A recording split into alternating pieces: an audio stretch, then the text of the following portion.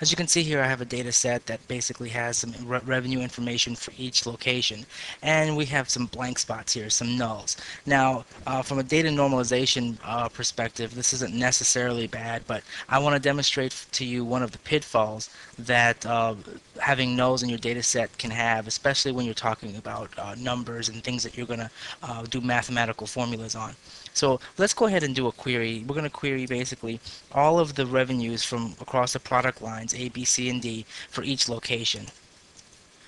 So I've built my query basically saying for every location, I've created a column that says total sales and I put the formula A plus B plus C plus D. So I'm just basically saying add A, B, C, and D together.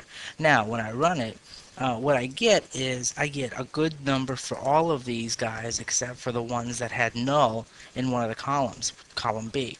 Now, why is that?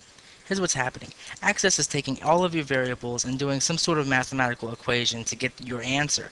Now, when one of the variables is not a number or an integer, uh, then what happens is Access basically says, I can't do this because one of your variables isn't, which null is not. Uh, so it just basically skips it and doesn't do anything with it. But there is something that you can do to stop it from doing that, and it's called the NZ function.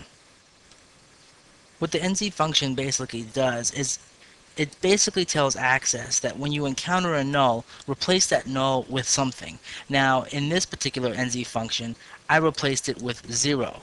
The comma 0 is what I'm replacing it with.